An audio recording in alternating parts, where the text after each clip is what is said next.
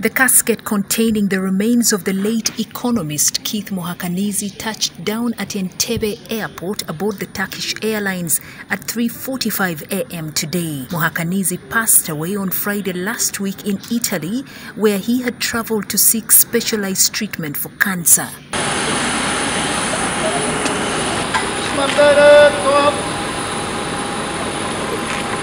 The body was received by General David Muhoozi, the State Minister for Internal Affairs, in company of former Deputy Attorney General Mwesigwa Rukutana, Muhakanizi's widow Janet Muhakanizi, relatives and friends. Today, the government held an official funeral service for the deceased at Kololo Independence Grounds, where President Yoweri Museveni was chief mourner.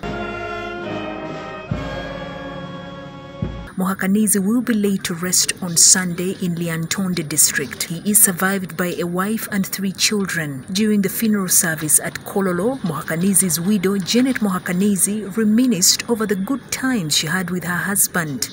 She sent mourners giggling when she narrated how her late husband lost their wedding rings just weeks after the ceremony. On the 8th, not 9th of December 1990, God blessed us with the three children you've just seen, Sima Itabaza, Nehum Azire, and Noah Inembabazi. A week after our wedding, Keith flew to Washington to attend World Bank meetings.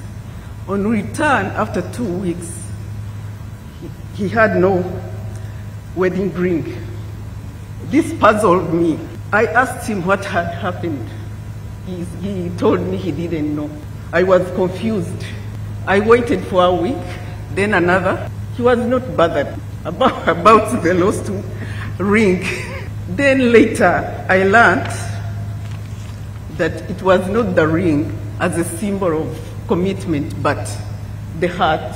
Janet described her husband as stubborn and a workaholic. He was stubborn sometimes, but in his stubbornness, all, uh, uh, people around him would feel warm about he, this stubbornness. Was this person immersed in his work. He's a workaholic. He was a, a workaholic, as you all know.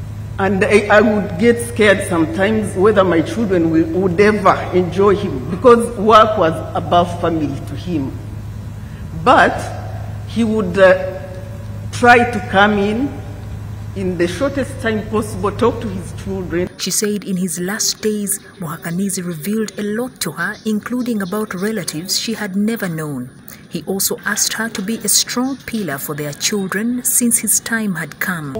Hardworking, more involved in even issues I, I was not enjoying, like football, politics. He would sometimes uh, ask me to wait for them as they enjoyed their Liverpool match with uh, his daughter, then would ask me to either support or just cheer them. I have prepared for my children, but they still need guidance. The late Muhakanizi's children also made a speech in honor of their father, describing him as a great man who touched the lives of many, an impeccable timekeeper, and a lover of football. They vowed to keep their father's legacy alive. At, um, at uh, the vigil, the small vigil that we're having um, in, uh, in Bugolobi at home, I'm going to say it again here. As much as you, you console us as children, as family, for the loss of my father, Your Excellency, I also want to console you for the loss of a friend, a comrade. And I know the loss is, is deep and, and, uh, and hurtful for you too. So I'm sorry for your loss, Your Excellency. We're going to be stronger and we're going to protect this legacy that my father has created was an impeccable timekeeper. 8 a.m. was 7.45 a.m. to him. When he dropped Nahum and I at school in the mornings, and one of us was late, usually me, because I'm not a morning person, he would ask the driver to park the car on the roadside and have us, and have us walk to the school gate. It did not matter whether it was raining.